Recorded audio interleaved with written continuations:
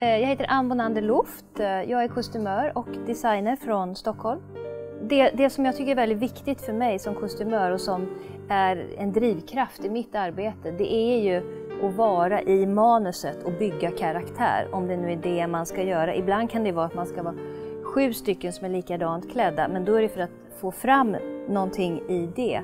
Men annars är jag väldigt intresserad av att vara med och bygga karaktären. So my name is Rufus Didvistus and I am a German living in Berlin. I have worked with Stefan Larsson for the last 12 years, mostly in Stockholm, but also in Aarhus in Denmark.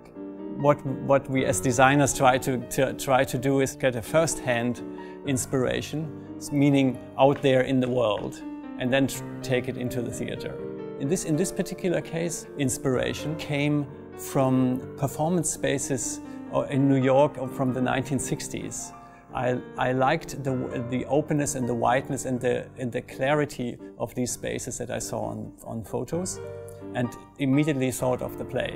Alla skådespelerskorna kommer ha nutidskläder så att man får en känsla av att de nästan kan komma in från gatan. Men däremot kommer vi ha som en reminiscens av rokoko What I would hope the audience notices, especially here in Betty Nansen Theatre, it is an aspect that I love, is that the auditorium and the stage are almost the same size. This might, might sound strange, but it creates such an uh, equal atmosphere. Eh, och nu var det givet från början att det skulle vara en gråskala, alltså svart, vitt, grått och försöka hålla oss till det.